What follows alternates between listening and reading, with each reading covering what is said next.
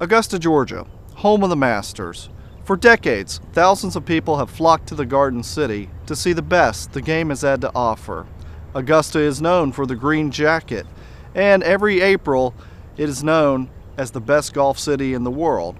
But what if I told you, more than 100 years ago, another sport reigned supreme in Augusta? Though we may not have a college football team right here, college football was the sport back in the late 1890s and early 1900s. In 1893, the University of Georgia played two football games here in Augusta, one against a club from Augusta and another against Furman University, the sixth and seventh games of the University of Georgia's football existence. In 1898, Georgia Tech and Clemson played their first ever game in their rivalry right here in Augusta. And in 1901, the University of Georgia and the University of South Carolina met in a true border bowl. The first two games of the Georgia South Carolina rivalry were played in Athens, Georgia and in Columbia, South Carolina, but the third game was played in Augusta, Georgia. Since 1994, thousands of fans from the universities of Georgia and South Carolina have descended upon Augusta for an annual gathering the night before the Bulldogs and Gamecocks meet on the gridiron.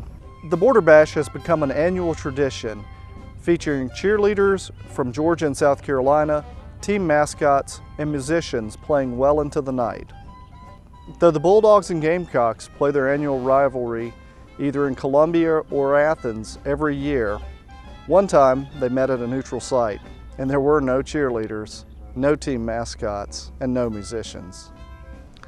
On October 12, 1901, Georgia and South Carolina met here in Augusta, here at the fairgrounds. This used to be a place where football was a mainstay.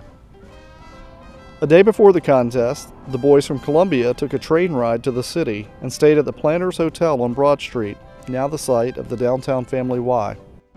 Georgia's players arrived by train on game day. They were expected to arrive in town by 2.20, just ahead of the 4 p.m. start time. In the Saturday edition of the Augusta Chronicle, the Georgia boys were said to be accompanied by a large crowd of lusty rooters. Attendance for the game was not listed in the paper, but it was said to have been good, especially with the game competing with a matinee and a circus that afternoon. When Georgia and South Carolina began their season opener, rules were much different than they are today.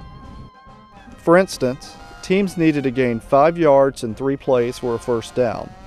Remember, the forward pass didn't become legal until 1906, and touchdowns were worth just five points instead of six, while a successful extra point kick tacked on another point. When Georgia and South Carolina met on that October 12 afternoon, Georgia won the coin toss and took the ball to start the game. The team marched downfield and scored a quick touchdown. No player was credited in the paper with the score. In the second half, Georgia's Turner scored on a trick play.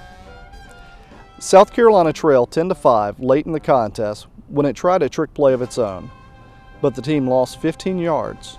Soon after, the game was called. The 10 to 5 Georgia victory would be the only time Georgia and South Carolina ever met in Augusta.